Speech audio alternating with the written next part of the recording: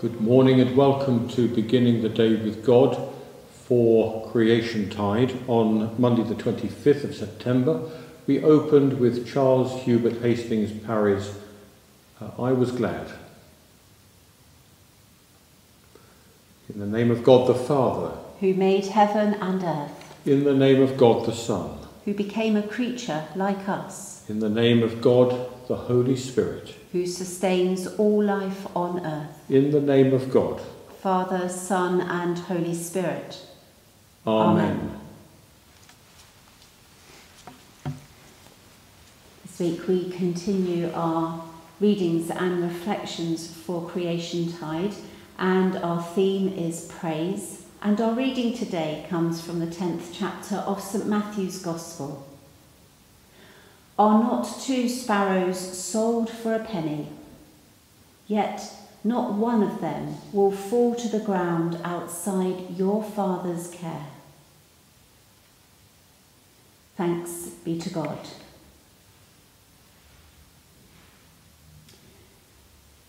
We had a young baby at the time, so I was used to getting up early in the morning.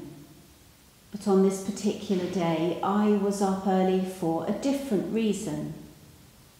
We were coming to the end of a week of lectures about Christianity and the environment, where we had studied all sorts of theologians and traditions and had engaged in some wholehearted debates around these issues on the final morning, for something a bit different, our tutors invited us to join them in the woods behind the college at 4 a.m.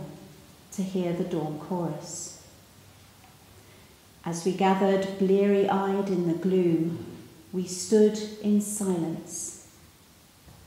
For about 20 minutes, there was nothing to be heard, and we began to wonder whether it had been worth getting out of a nice warm bed for this. Then the first bird, a robin, began to warm up. Before long, others had plucked up the confidence to join in, and as they did, our tutors expertly identified them thrushes, finches, warblers, and more.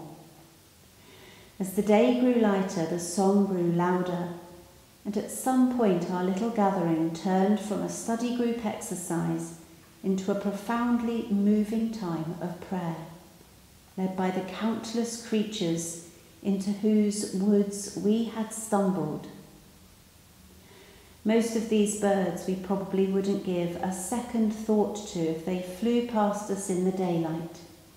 Yet, this encounter was a reminder that they are loved and cared for by their Creator and they respond to that love and care by pouring out their souls and their songs in the early light of dawn.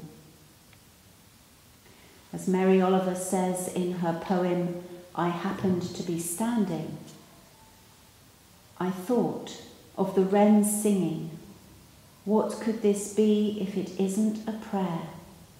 So I just listened. Perhaps today spend time just listening.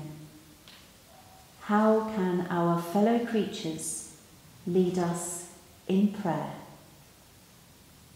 Amen.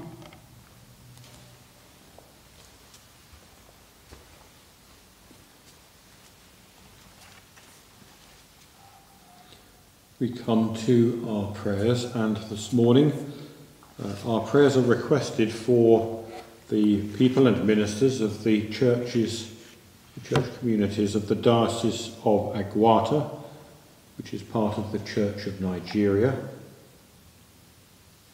And we pray too for our colleagues and friends who are members of the other local Christian churches. We think of Freddie and Simon and all at Zion Baptist Church of the congregation of Tenterden Methodist Church, of Father Beer and Jolyon and all at St Andrew's Catholic Church, of Matthew and all at Trinity Baptist, of Gilbert and all at Jireh Chapel, and Carl and all at the Gateway Church.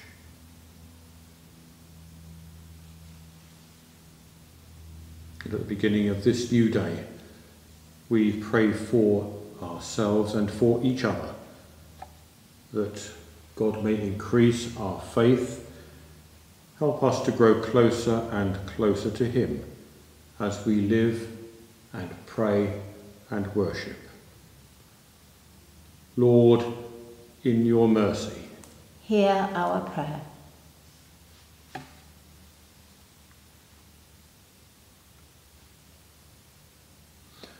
In the world around us this day we pray. Your kingdom come. In the world before us this day we pray. Your kingdom come. In the world beside us this day we pray. Your kingdom come. In the world within us this day we pray. Your kingdom come. We join together now in the prayer of the kingdom, the prayer which Jesus taught us, saying, Our Father, who art in heaven, hallowed be thy name. Thy kingdom come, thy will be done, on earth as it is in heaven. Give us this day our daily bread, and forgive us our trespasses, as we forgive those who trespass against us. And lead us not into temptation, but deliver us from evil. For thine is the kingdom, the power, and the glory, forever and ever. Amen. God of wonder, go with us into this new day.